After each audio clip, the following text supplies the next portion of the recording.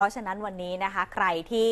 จะออกไปที่ไหนเนี่ยนะคะ มีหนึ่งสถานที่แนะนำนะคะ ได้ทำบุญกันแน่นอนนะคะ ที่วัดบวรนิเวศราชวรวิหารนะคะ เปิดให้พุทธศาสนิกชนเนี่ยได้ส่งน้ำพระเพื่อความเป็นสิริมงคล คือเป็นควันหลงย้อนหลังช่วงสงกรานต์เอามาค่ะจัดช่วงนี้นะคะ เพราะว่าแน่นอนพุทธศาสนิกชนหลายๆ คนก็อยากจะไปทำบุญย้อนหลังในช่วงของสงกรานต์กันสักหน่อยนะคะ แต่ว่าวันนี้เนี่ยเป็นวันสุดท้ายแล้วนะคะที่ทางวัดบวรเนี่ยจะให้พุทธศาสนิกชนได้เข้าไปส่งน้ำพระกัน แล้วก็เป็นวันสุดท้ายที่เราจะได้หยุดยาวกันด้วยนะคะ ซึ่งทางวัดบวรเนี่ยนะคะ ก็ได้อัญเชิญ พระอุปคุตและพระภัยรีพินาศมาให้ประชาชนได้ส่งน้ำเพื่อความเป็นสิริมงคล แล้วก็ยังเปิดให้ทำบุญถวายสังฆทานไหว้พระพุทธชินสีพระสุวรรณเขต พระประธานภายในพระอุโบสถด้วยนะคะ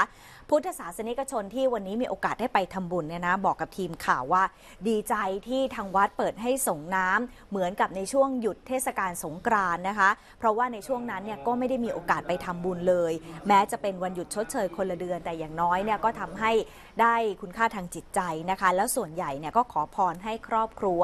มีสุขภาพแข็งแรง แล้วก็มีความสุขกันทุกคนนะคะ ไปฟังความรู้สึกของประชาชนที่มีโอกาสได้ไปเข้าวัดทำบุญกันหน่อยค่ะ ดีค่ะทำอย่างนี้ดี เพราะว่าในกรุงเทพมันไม่มีโอกาส มันไม่เหมือนบ้านนอก ถ้าบ้านนอกนั้นพอสงกรานต์เขาจะทำเลยเขาไม่มีการวันหยุด แบบในกรุงเทพพอมันมาติดโควิดใช่ไหมฮะไปไหนก็ไม่ได้ คนก็กลับบ้านไม่ได้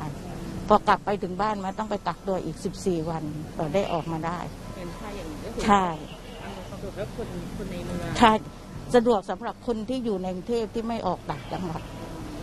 แล้วอย่างนี้เรามาขอพรช่วงสงกรานต์ชดเชยใช่ค่ะเชิดเชยใครค่ะ บ้างคะขอให้ครอบครัวมีความสุข แค่นั้นแหละ ขอให้โรคภัยไข้เจ็บได้หาย ค่ะ ตั้งใจมาก ส่งน้ำขายอย่างนี้ใช่ก็เลยแวะส่งน้ำพระก่อนเป็นไงคะเติมสิริมงคลใช่ค่ะช่วงวันหยุดนี้ได้ไหมคะใช่ค่ะขอพรอะไรหรือเปล่าเอ่ย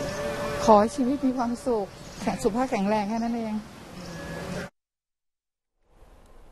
นอกจากไปส่งน้ำพระเพื่อความเป็นสิริมงคลแล้วนะคะ ก็ยังสามารถทำบุญไหว้พระได้ทุกจุดของวัดบวรด้วยนะคะ คุณผู้ชมยังสามารถเดินทางไปได้นะคะ จนถึงเวลา 17 นาฬิกา ซึ่งกิจกรรมส่งน้ำพระย้อนหลังในช่วงเทศกาลสงกรานต์ก็จัดวันนี้วันสุดท้ายนะคะ